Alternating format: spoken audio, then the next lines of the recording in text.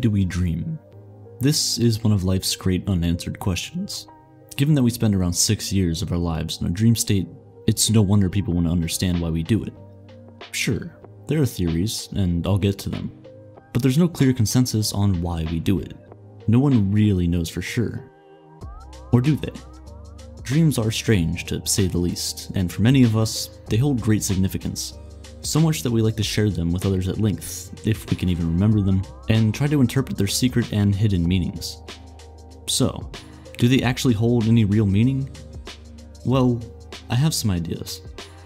It's very difficult to disprove most theories. Maybe some of the more fascinating dream phenomena can shed light on the function of dreaming.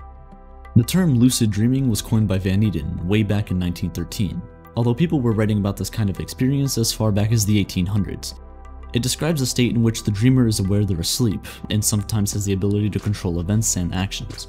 It most commonly occurs during late stage REM sleep, and essentially allows your conscious mind to control something your unconscious mind normally controls. Lucid dreamers report being able to fly, taste, smell, and touch pretty much anything they want. It's more common than you think, with about 55% of people having experienced the state at one time or another. For starters, participants were asked to perform specific ocular movements if they became lucid while dreaming. By ocular movements, I mean moving your eyes, that's, that's literally it. This is possible actually, and it's kind of ingenious, because eye muscles are free to move during REM sleep. By determining exactly when the sleeper was lucid dreaming, researchers were able to take recordings of brain activity during this state. The evidence showed some interesting and specific brain activity that represents a mixture of both waking and normal REM sleep. It also seems that the brain undergoes a specific altered state of physiology during lucid dreaming that constitutes a hybrid state of consciousness. Studies have shown that the prefrontal cortex, as well as the frontal, parietal, and temporal zones become activated. These areas of the brain are responsible for higher order cognitive functioning including working memory, cognitive flexibility, planning, inhibition, abstract reasoning, the list goes on. So, besides being quite entertaining, why do it? Can we learn anything from it? Some advocate many potential benefits, including boosting creativity and confidence, reducing stress, and as a possible therapeutic technique to treat nightmares, PTSD, and other mental health disorders. Others view the practice as more spiritual and approach it the way they would a meditation, with the intention of increasing a person's sense of the vastness of reality, opening up new realms of discovery. It's even been suggested that some advanced meditation practitioners are able to become conscious of what is beyond the dream state, the deep formlessness of delta sleep. This is questionable at best and in need of much further study.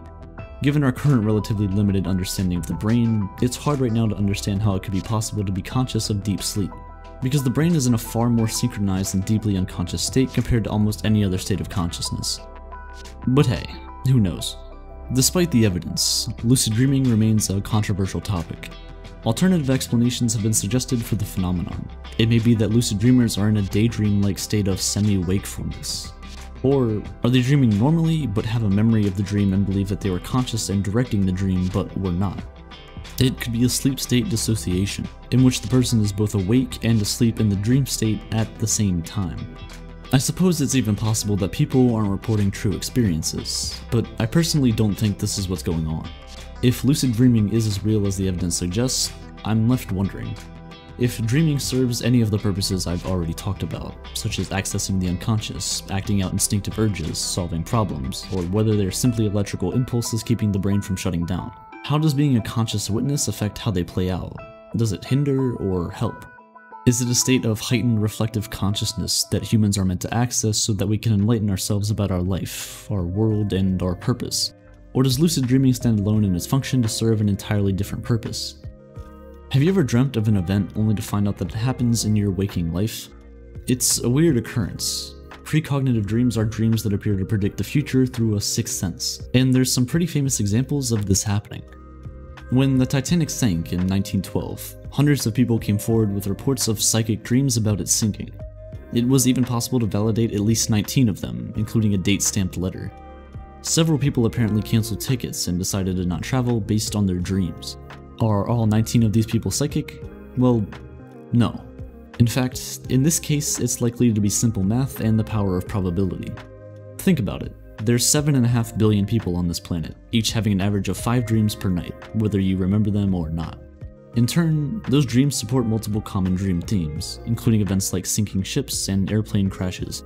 When all of this is considered, in reality, it's highly likely that many thousands of people will dream about a sinking ship on any given night, probably tonight too.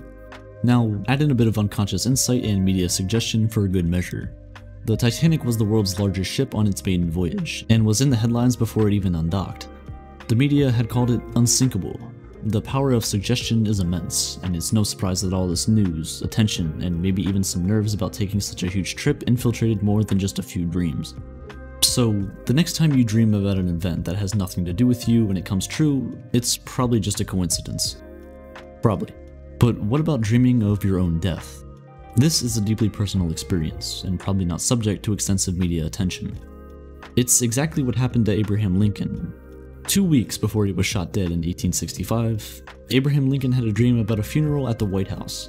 When he asked someone who was in the casket, they replied, The president, he was killed by an assassin. Clearly, he didn't listen, because at the time he was assassinated, he had given his bodyguard the night off.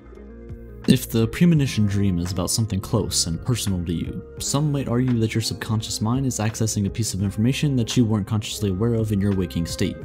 You just missed it. The brain has so much to process every second you're alive, it only makes sense that some information is lost. So it's less psychic power and more inner feelings or intuition that you're experiencing through your dream. And this takes us neatly full circle back to the question of why we dream. If you don't believe in psychic abilities that manifest in dreams, then precognitive dreams are essentially the window into our unconscious. Of course, as always, some disagree with these explanations of precognitive dreams, and suggest that when matches occur on such a reliable and frequent basis, this can't be entirely down to coincidence. Some of these people turn to a mix of philosophy and physics to understand how precognitive dreams might happen. To truly understand these theories, it is necessary to assume that the future consists of many possibilities, and which one becomes reality is determined by the choices we make. The butterfly effect shows up yet again. Ultimately, common sense would tell us that dreams likely serve many purposes as opposed to just a single one, and how we choose to understand our dreams and why they happen is largely a product of time and culture. The function of dreams may have even changed as humans have, and continue to change across time itself. What once acted as a rehearsal system for evading predators is now serving to help us navigate the social and technological complexities of modern life and its stresses. Dreaming is vital. The link between dreaming and REM sleep is undeniable, as are the benefits of REM sleep for our health and well-being. So don't stifle them. They're only trying to help you. Sweet dreams.